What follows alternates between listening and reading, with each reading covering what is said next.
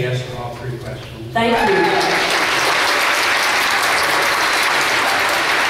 When I was in front of this group four years ago, we asked similar questions, and I made the commitment then. I'm really proud to be part of the 10-1 council that got to $15 an hour sooner than it was expected. I was proud to be part of a council that funded Capital IDEA and the AISD programs each of our years in office.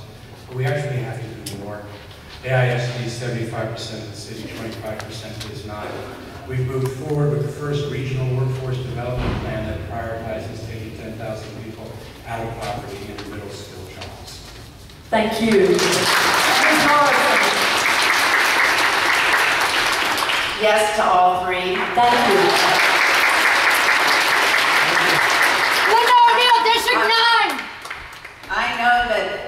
Investing in people is the wisest investment we can make as a, as a city. And when I was on the council and worked with, uh, worked with the folks at Austin Interfaith, I fought for capital idea and increase for capital idea, and I lost that battle, but I made sure that leftover fund, that some of the extra funds in my office account went to, uh, capital idea. And so I fully intend to continue the, the fight for all of that. Thank you.